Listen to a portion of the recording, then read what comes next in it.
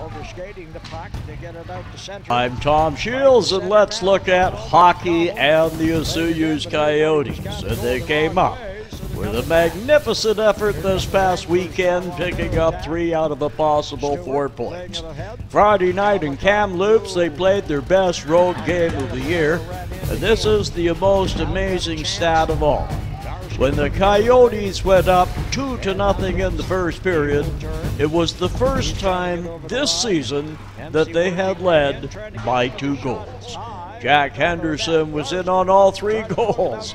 On the first goal, a short-handed effort by Blake Astorino that started the scoring. On that one, Jack was in the penalty box or cross-checking. Then he came back and scored with two minutes to go in the first frame. And then he added an insurance goal to make it 3 to 1 with five minutes to go in the third period. Team played a very strong defensive game. Saturday night at the Sun Bowl saw one of the best hockey games and most exciting in the past few years as the Coyotes of 100 Mile House decided to play to a two-all overtime tie. It was an offensive hockey game with standout goaltending at both ends. Coyotes netminder Kurt Doyle made the save of the game with 45 seconds left when he caught a shot from close in that most of us, me included, thought we were picking it out of the net. Fans giving a standing ovation on that one. And then in the overtime, Brandon Della Polera came in and right to the slot, scorched a shot that was heading into the top corner, and Jordan Wild, the Rattlers goaltender, he kept the Coyotes from getting the win when he snatched that one out of thin air. Yes, folks, I said thin air. It was an unusual weekend, and that head coach, Dean Maynard, was away, and assistant coaches Dan Dahlgren and Scott Boland took over.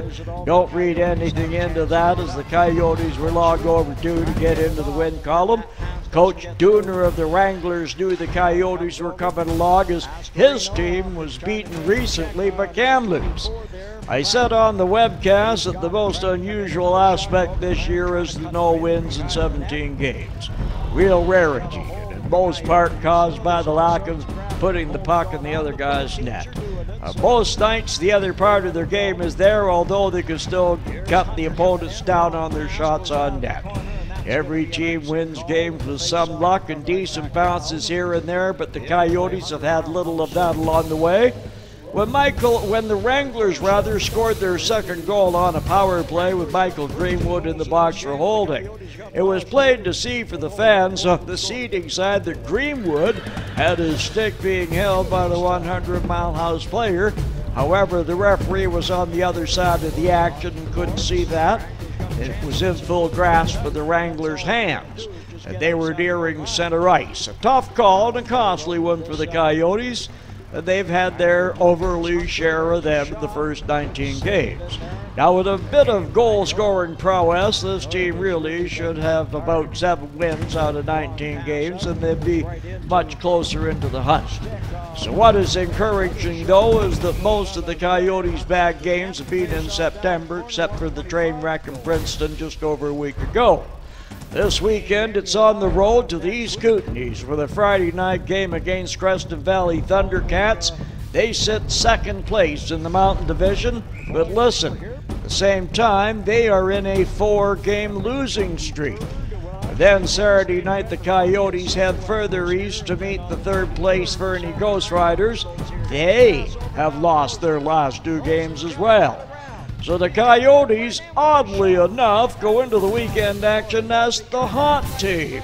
Go figure. Yet there is no denying they are as good as their opposition on most nights. But if they can find that scoring touch, keep this string of getting points going, and we'll see what happens as we work our way through November.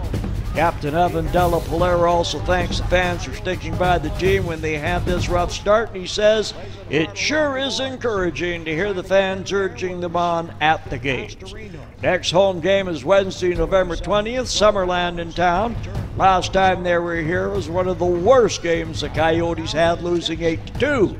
So they might want to show the steam that this time they're playing a different team. The Oliver Osoyoos Wine Country is game sponsor.